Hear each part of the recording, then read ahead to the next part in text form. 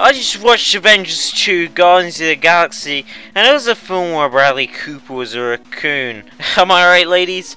I mean, this guy was in the A-Team, and that film was so good, Ed Sheeran wrote a song about it, and then he killed himself, because there's no point living after that song, it was so good. No point even trying anymore. What the hell, Nintendo? As well as Captain Raccoon swag, there was also Tree Lad, Rude Dude, and the 4chan Green Frog Meme, and just some guy covered in rashes. He was like, I came in to kick ass and chew bubblegum, I'm all out of ass. I mean, come with some original characters, Blossom Blow is clearly a rip-off of Tanuki Mario. Look at that! Look at that! Hmm. I've only seen this six times, but I know the film is shit due to severe lack of Jennifer Lawrence. I mean, any good film, she used to be in it, or it's absolutely shit. Fact, fact, fact.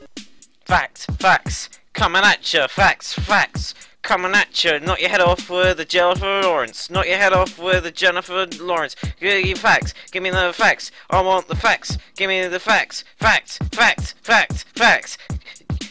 Facts my mate John, he's got a hat. My mate Terry, he's got a cat. Break your neck, break your leg, break all your other limbs. I don't give a shit. Knock over your dog, knock over your frog. This is your cat. Get your log.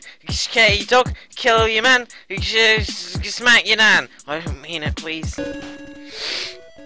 Hungry Game, good film. Crossmen, Men at a Men.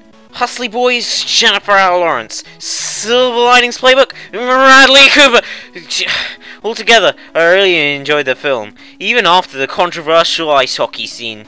Men Are Boys was good. Subscribe.